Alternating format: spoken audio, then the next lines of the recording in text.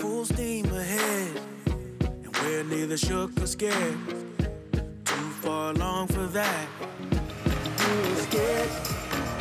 We're right here. We're right here. The Titans and Ravens have met 24 times. They have bloodied the other's lip countless times in games that resulted in strange final scores, featured bizarre plays, and had wacky endings. Fires, Brown makes the catch at the 10, spinning, driving his way Oh, into the end zone. wow. How did he do it? Oh, yes, yes, yes, As the Titans will run out of Baltimore with a shocker in OT. It's us against everybody. Titan Up.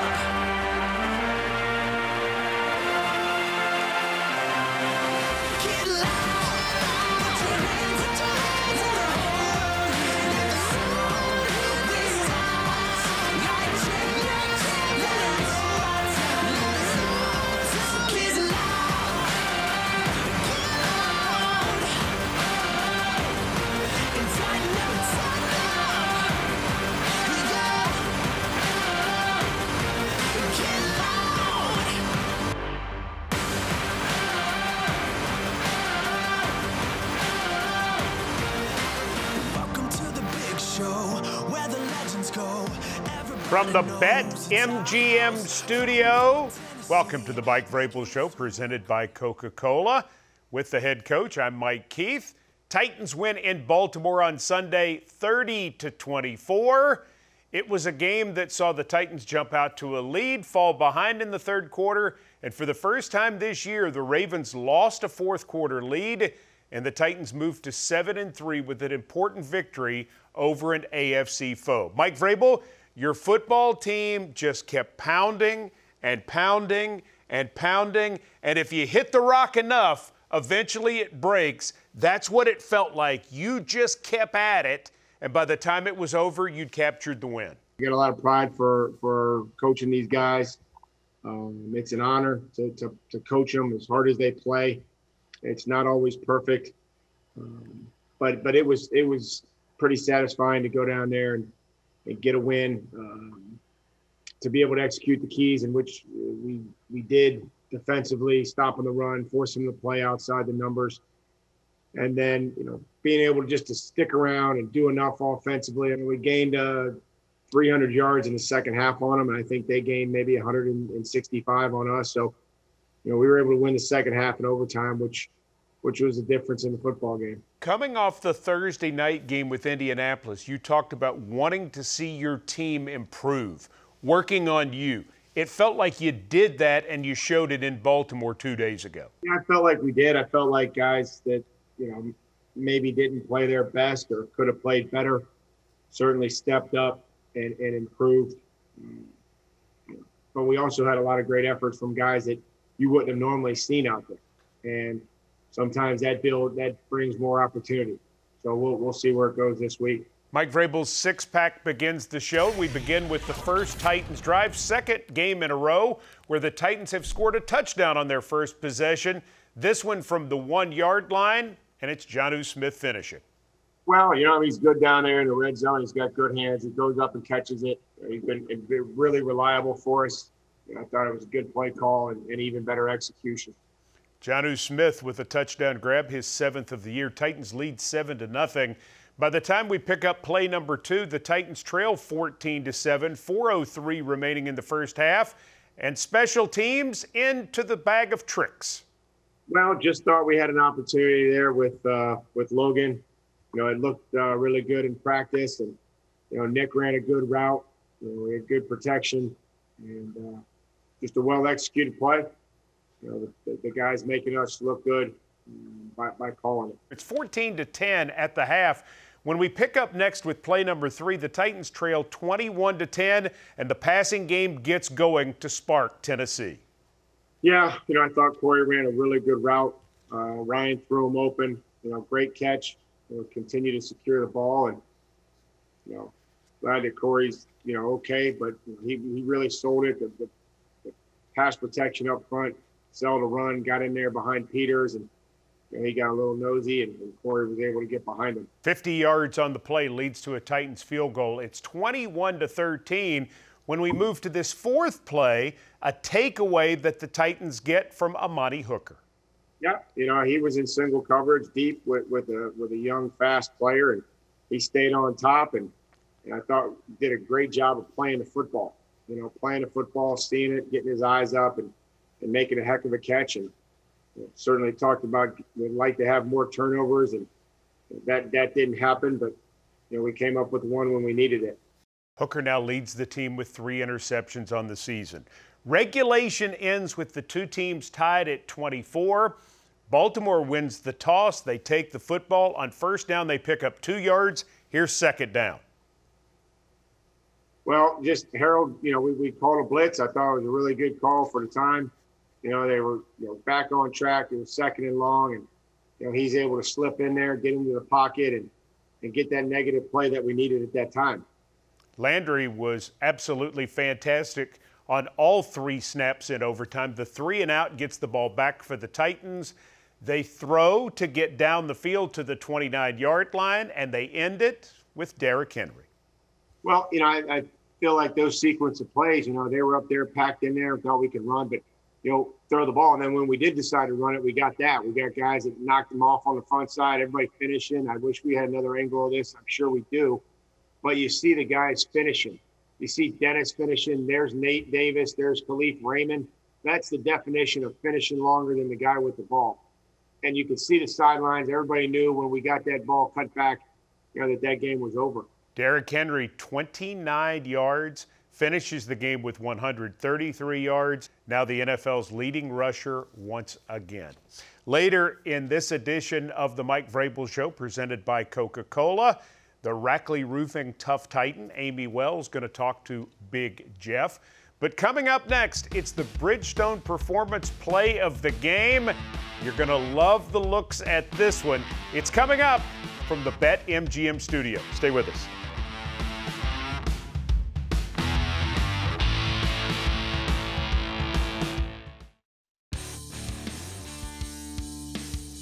From the Bet MGM studio, the Mike Vrabel Show presented by Coca Cola continues, and it's time for the Bridgestone Clutch Performance Play of the Game. Love this one. Gave the Titans the lead. A.J. Brown's made a lot of good plays, coach. This was one of the best. Well, you know, I think we're just trying to get it there to, to be in, in, in fourth and short and get a catch and run. Um, he's done this multiple times. You know, he's uh, he's broken tackles, but but again, there's other guys that have helped him. You know, Cam's heading over there to try to get a block. Here comes Jeremy, but you can see him taking care of the football, shrugging off tacklers, and uh, then carrying uh, a linebacker into the end zone. He really is like a running back when he gets his hands on the ball and starts down the field. got great play strength. I think you saw that as evident on the on their sideline. Uh, probably looked like they had him for a five or six yard gain, and then you know whatever it was, 18 yards later, you know he's down, he's tiptoeing down the sideline. I gave the Titans the lead, and that is our Bridgestone Clutch Performance Play of the Game. As we go to break, it's time for the Delta Dental Guess the Uh-huh. Titan. You ready, Coach? Yeah, so All right. Delta Dental Guess the Titan. First look. what a cool outfit. It's a great outfit. Can you guess this Titan? We'll see if Coach Mike Vrabel can when we continue from the Bet MGM studio. This is the Mike Vrabel Show presented by Coca Cola.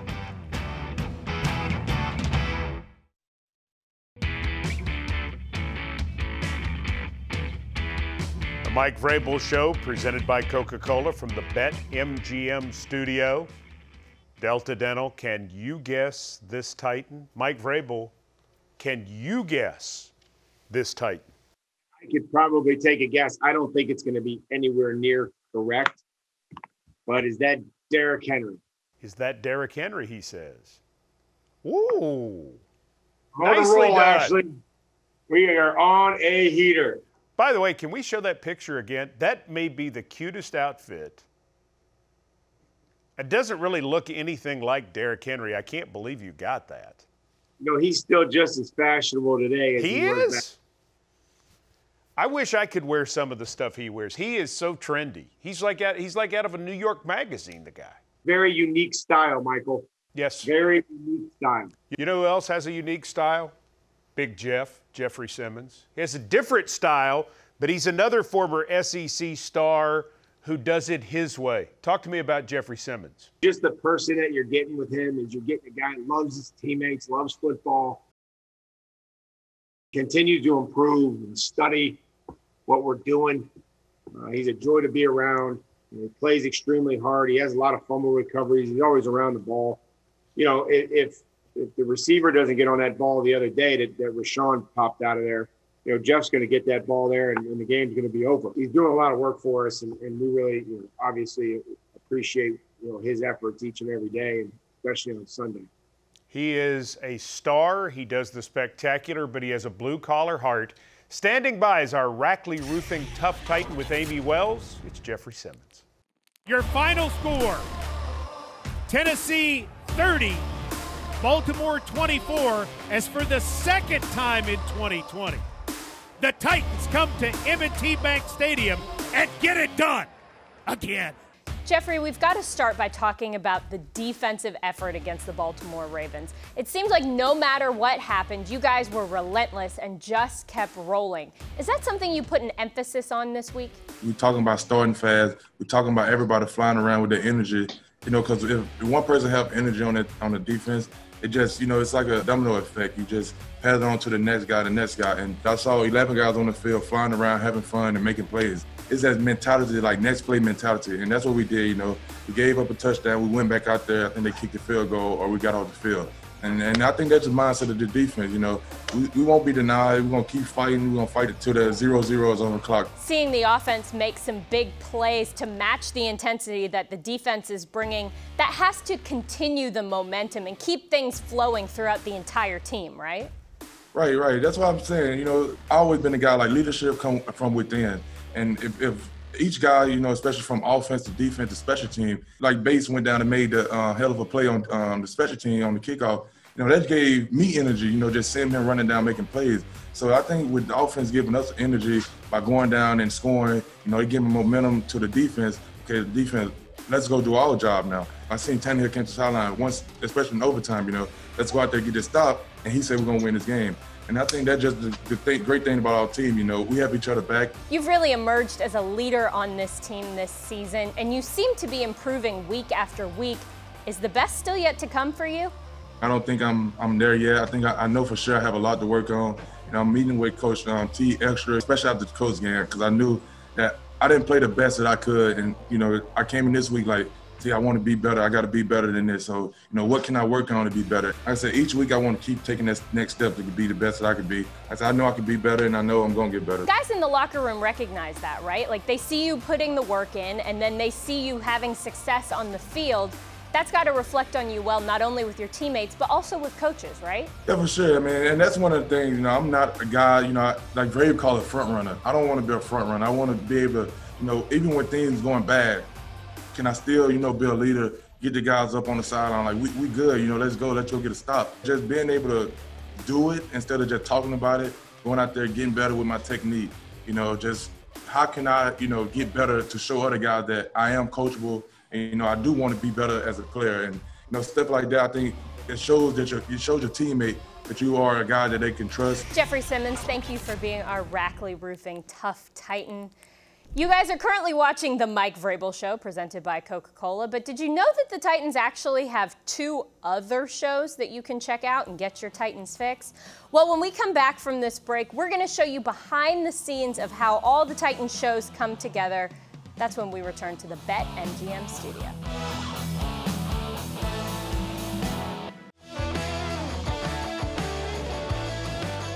On this edition of Inside the Titans presented by Xfinity, we take you inside the production of this show and the other two Titan shows during the course of the week, the challenges that go on to put them together, especially in 2020 as we deal with COVID and the fact that most of us can't be together.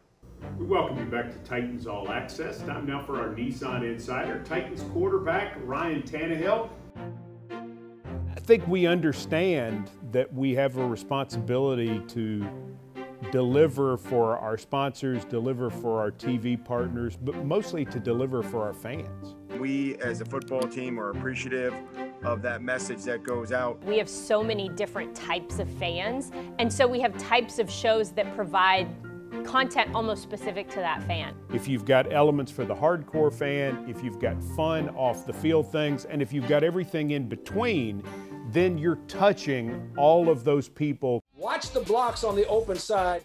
On Titans All Access, you're getting a little bit of everything, and there's community, and there's some football, and there's kind of human interest pieces. That's all you need right there. I love to hear it. On Blitz, you get Eddie George, and you get Lance Smith, and you get some of the fun, lighthearted sides of this football team. And then you have the Mike Vrabel show, where you're getting some hardcore X's and O's evaluation of what just happened for this Titans football team and then where they're going. You can see right there at the top of the route when we break it off, Kalif stems it outside, gets the DB turned around. The diversity of our content, I think, is what keeps it fresh and entertaining. I mean, if if I'm not enjoying our content, I would assume that our fans aren't enjoying our content either. How would you like to work for an NFL team? I sure would. You already did. Oh, yeah. If it bored them or if they hated it, they wouldn't watch it. So, how do we enhance their passion about the Tennessee Titans and the NFL? Well, we're doing it through different things that we do on TV. There they are. Look at them right there. This year's been different in a lot of different ways from just the function of how we shoot these shows and the way that we are in kind of the spaces that we're able to be in. It's definitely affected the workflow, but I've been very impressed with the things that the Titans have put in place to make it so me and the other video people can still streamline everything from our houses. Whether it's doing it on a laptop or having a special microphone that we hand to someone who's in a different room, there's all these different ways that we have to find technology or just other resources to help us get our job done. You have to, you know, really pre-plan almost tenfold to what we did before, and I think that's been the, the biggest challenge. We're lucky to have a facility here at Nissan Stadium. We're lucky to have people who can come over and can work on our crews and can make a difference and can shoot it well. I usually handle a lot of the player interviews and a lot of the interviews at different events and things like that. All of that is virtual now. That was amazing. You did, uh, you did a good job. Working with them virtually has not been as hard as I thought it would be That's a plan, Mike. Appreciate you guys. because John and Mike both give maximum effort. Our hope is that nobody watching any of our programs notices a difference. I think that's what we were striving for when we entered the pandemic. It's like, let's take a step back, understand how we're going to do these new shows, and how can we still put out something that's that's high quality, that is expected of, of the Titans brand. Amy Adams Strunk wants things to be done at a certain level, and there's an expectation that we will be a great team in this league, and that applies to everyone across the board. And I've been proud of the men and women who work on our shows because I think what you see is the best product we've ever put out. A lot of good people make it happen for you every single week on our television programs, and we appreciate all of their great efforts. We're certainly thankful for them. When we come back, Mike Vrabel's keys to beating Indianapolis in round two. The Mike Vrabel Show, presented by Coca Cola from the Bet MGM studio, continues next.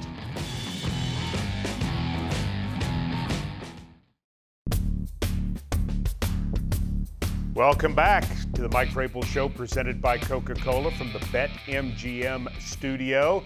Time for Mike Vrabel's Nissan keys to success. Start with the kicking game and protection. Well, certainly we're going to have to protect our punter and kicker, something that uh, we didn't do the last time. But you know, I think when you see on Sunday that we took care of the protection, we were able to execute those kicks. Those guys were able to do their job. Stephen made his kicks, uh, you know, and, and, and Trevor was able to kick the ball down there for us to, to go down and cover. Uh, so that's going to be a huge key. Get a lot of respect for for this special teams unit uh, that we're going against here with the Colts. It's excellent in coverage, and um, I, I'd say this is the best special teams unit we faced to, to, to the date. Key number two win the turnover battle.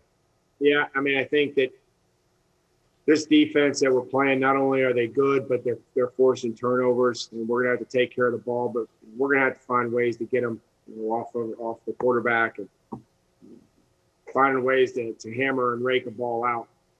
It's hard to go, you know, 85, 90 yards against a, a really good defense, which is what they are. And I- just think that for us to, to be able to, to control that phase and win the turnover battle is going to be uh, critical to our success. And then, just like what the Titans did yesterday, compete and finish for 60 minutes. No doubt about that. That's going to finish us on this edition of the Mike Vrabel Show presented by Coca Cola. Happy Thanksgiving. Yep. Happy Thanksgiving, Mike, and to uh, everybody that helps us with this wonderful show. All right. Thanks so much for being with us. The Mike Vrabel Show from the Bet MGM studio. Have a great night, everybody. And again, happy Thanksgiving.